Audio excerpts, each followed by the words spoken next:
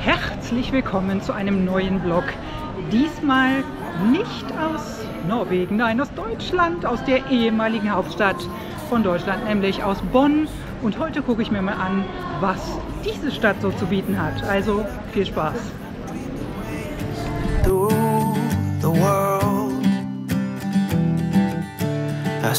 Remember the first time I kissed you. Ja, der Beethoven ist hier durchaus ein Thema in Bonn. Er wurde nämlich hier geboren und wir gucken mal, ob es noch weitere Hinweise darauf gibt. Those were the days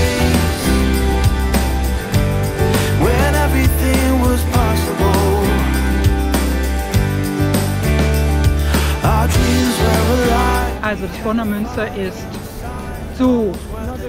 Nix gucken, nix Kreuzgang, kein gar nichts. Aber ich drehe mich mal rum. Ein weiterer Beethoven. Yeah! I'll always remember that cold night you told me We're not two, but we're gonna be three months we'll be a family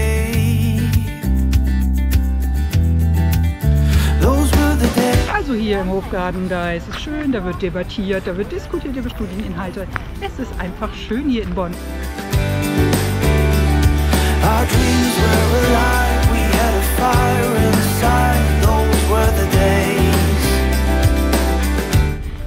auf dem Weg zum Bundesbütchen und ich hoffe, das ist nicht noch kilometerweit. Es ist gefühlt 200 Kilometer.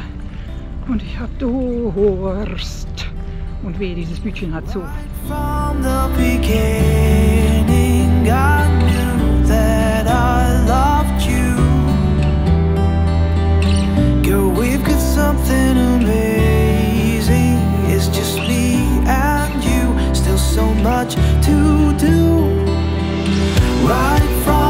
Ich habe das Bundesbütchen gefunden und jetzt brauche ich vor allen Dingen eins, was zu trinken.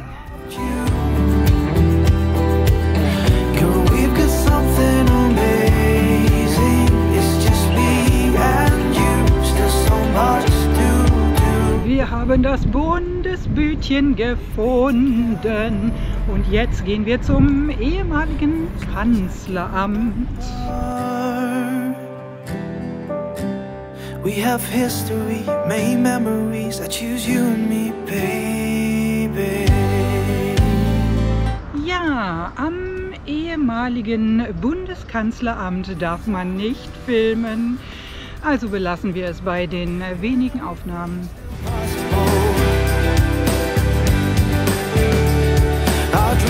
Wir sind jetzt wieder zurück in der Innenstadt, sind mittlerweile bei Kilometer 7,2 zu Fuß. Ach, man kann hier eine hübsche kleine Stadtwanderung unternehmen und es geht natürlich noch weit.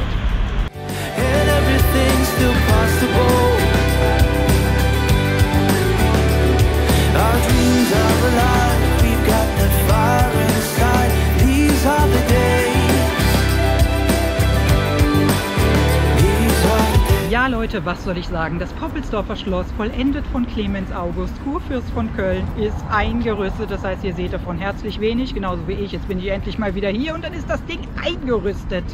Unmöglich. Naja, es ist wie es ist. Nichtsdestotrotz, ich hoffe, der kleine Rundgang durch die Innenstadt von Bonn hat euch gefallen. Macht's gut, einen schönen Tag euch.